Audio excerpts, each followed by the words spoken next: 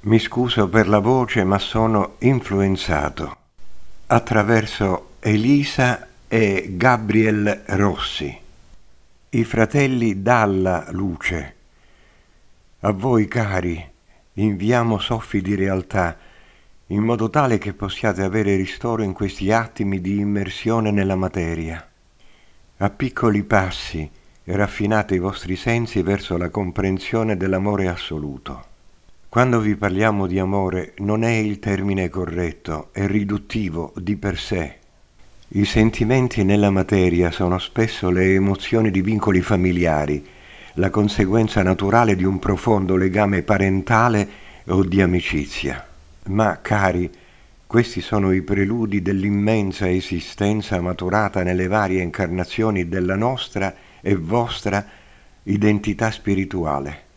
Cari, il vostro germe maturo è attratto inconsapevolmente dalle fonti rigeneranti, dove il sentire ancestrale, lasciato il denso, prende forma predominante e vi aiuta a capire la vostra vera essenza, occultata finora dalla materia pesante.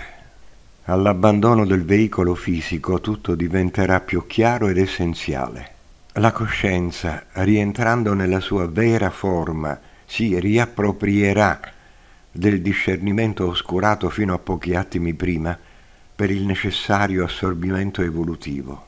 Lo stupore di esistere ancora lascerà spazio alla legge universale di attrazione e accomodamento nelle dimensioni compatibili con la vostra coscienza.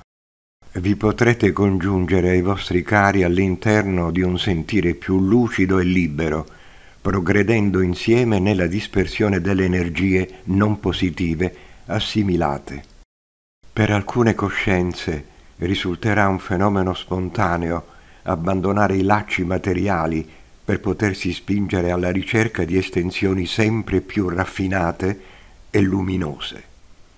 Fratelli, l'amore della luce è un sentire di pace e benessere che si amplifica sempre più con un andamento esponenziale senza confini, se lo ricercate sia nell'ora del trapasso, sia nei momenti successivi al trapasso. Siate sempre più partecipi dell'immenso movimento universale connesso con l'armonia assoluta.